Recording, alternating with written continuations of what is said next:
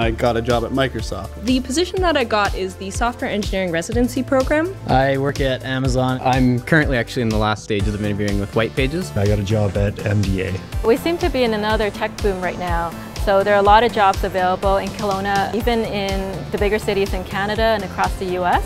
So any student with solid programming skills and good work ethics should have no problem landing a job. The places that I've actually interviewed with, Google, TELUS for their healthcare analyst team, Cronus, Twitter, Disney. We wanted to offer students an opportunity to see what it's like to interview and land a job because the process for job hunting is actually really intensive. It's really different from their academic experience in the past few years. So for example, nowadays most companies, the norm isn't just to look at your resume and then decide if they want to interview and hire you.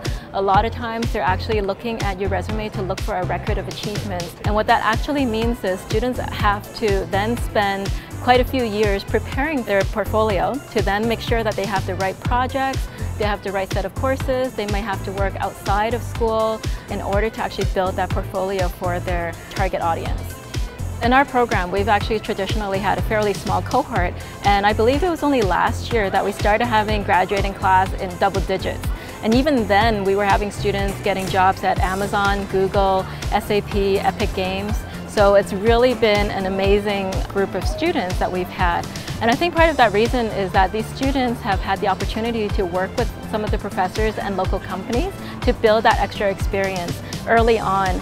In contrast to some of the larger campuses where the students are just part of a big lecture class or students are just numbers, I think we actually offer that special opportunity for students to build in that extra experience for them.